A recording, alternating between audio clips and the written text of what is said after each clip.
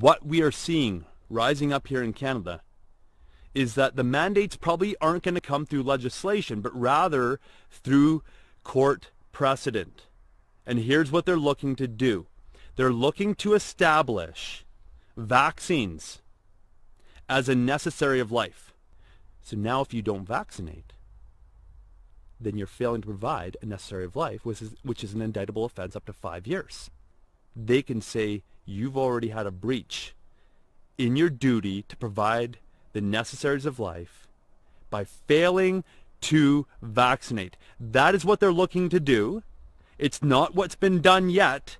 Ours was the first case that we're aware of that they attempted to establish that. This is the second case I know, but there may be other cases going on. There may have been already other cases that the media was silent on and that nobody picked up on this agenda. But this is what they're looking to do, is establish the vaccines as a necessary of life as if it were water or food or shelter or clothing. That's what they're looking to group vaccines in with. And that you have to vaccinate. Otherwise, you are breaching your duty as a parent or a caregiver and you are liable for jail time. That's exactly what is happening here. This has got to get out there.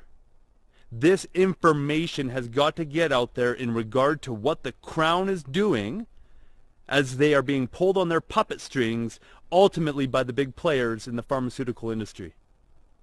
The pharmaceutical industry is desperate. People are leaving in droves, and for good reason. People don't want their wares anymore.